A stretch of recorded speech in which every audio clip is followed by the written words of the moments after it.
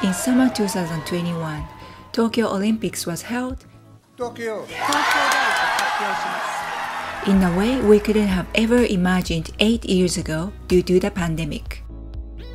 Unfortunately, games were held with without spectators in major cities. Unexpected problems occurred one after another, and the event received many objections in and outside of Japan. However, I'd like to share with you two things behind these Tokyo Olympics that are not known by many people. So let's start.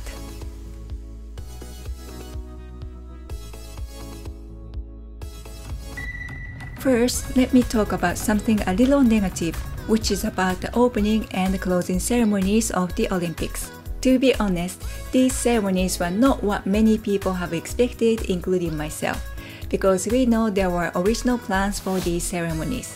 So let me talk about it, focusing on the original plans for the opening ceremony, which was revealed recently.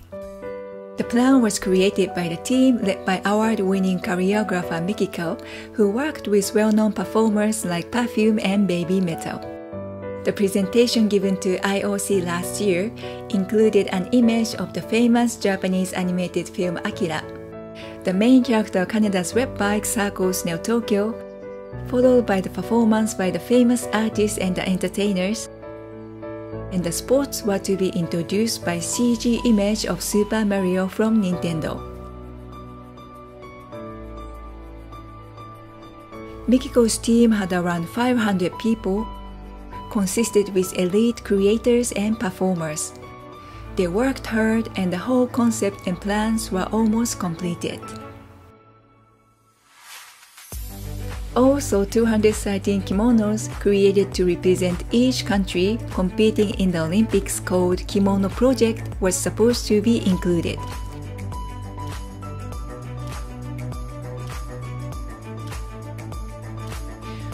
But unfortunately, these original plans were not used during the ceremony due to the various issues led by the postponement of the Olympic, such as cost cutting simplifying of the event, and many other issues within the companies that handled this project.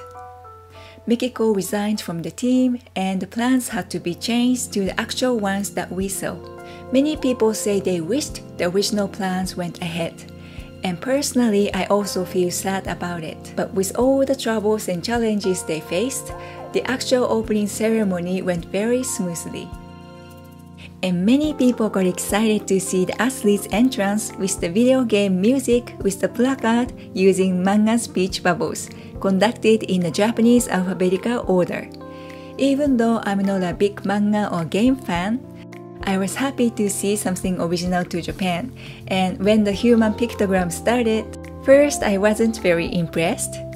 But when they dropped the racket by mistake, it made me laugh and I thought it was fun and something different from the past. So, all in all, I think all the people who were involved in the ceremony did a great job for doing what they could do in such a difficult situation. There is another thing I'd love to share with you. It's a football match my family went as spectators in Miyagi Prefecture where I'm from. While 97% of the games were hosted without spectators, there were a few venues outside of Tokyo that hosted games with them as the areas were less affected by the infections, and Miyagi was one of them. So my parents, my sister, and her husband went to the men's quarter final at Miyagi Stadium. Miyagi is one of the three prefectures in Tohoku that were hard hit by the 2011 earthquake and tsunami disasters. And Tokyo Olympics and Paralympics were meant to showcase the recovery from the devastation and show appreciation to the world for their support during the disaster.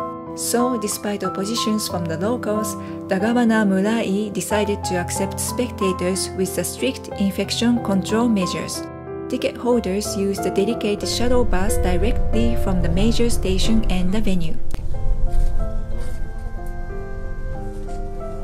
And they were asked not to go to the restaurants or the entertainment areas before and after the game to prevent any potential spread of the virus infection.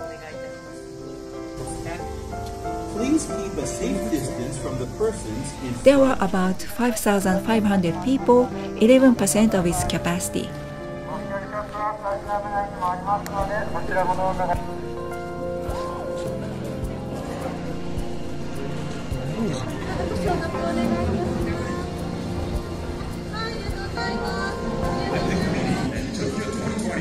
Welcome to the event, between Spain and Cote d'Ivoire. The ticket costed 20,000 yen, about 200 US dollars each for the good seats. The audience was asked not to sing or chant. So everyone clapped their hands to cheer the players. To be honest, my parents or my sister don't know much about football, but my sister's husband likes it. And he told me he was happy to be there to hear the player's voice and other sound that were not usually heard in the normal games. My sister said when I won the tickets two years ago, I expected to see the game with more wild cheers. But now that the situation changed, I wasn't sure if I could enjoy it. But the audience raised some voice with surprise when they see some actions and cheered with clapping for both teams.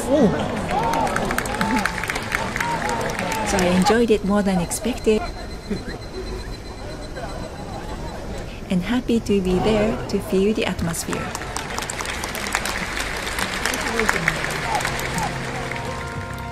And they were amazed to see the staff doing their best to support the game.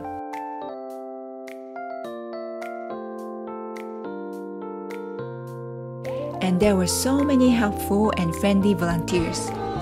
My sister said she really wished the international visitors were there to experience it. This is Tsun-san, a national team supporter who is famous for Chonmage samurai hair. He's been a volunteer for the affected areas in Tohoku. He and other volunteers prepared the banners in 10 languages to express gratitude for the support received from all over the world and express hopes for the future. Even though there were no spectators came from overseas, they hoped the banners would be seen on TV. He says that the international event is not only the place to support the players from our own countries, but the place to interact with others. And we can cheer each other even from far apart during this pandemic, like when people in Tohoku were encouraged in the time of disaster. He also thanked Miyagi for giving them the opportunity to express the messages to the world.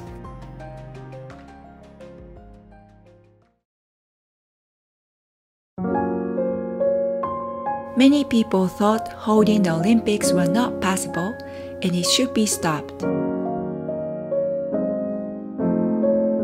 But the ancient Olympics are believed to have started during the epidemic and conflicts with the hope of overcoming them.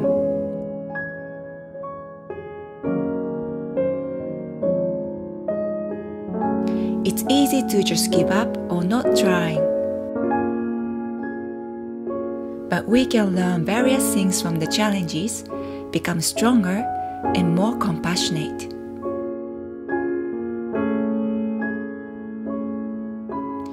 Tokyo 2020 may not be the best Olympics ever, but I think it's the one to be remembered.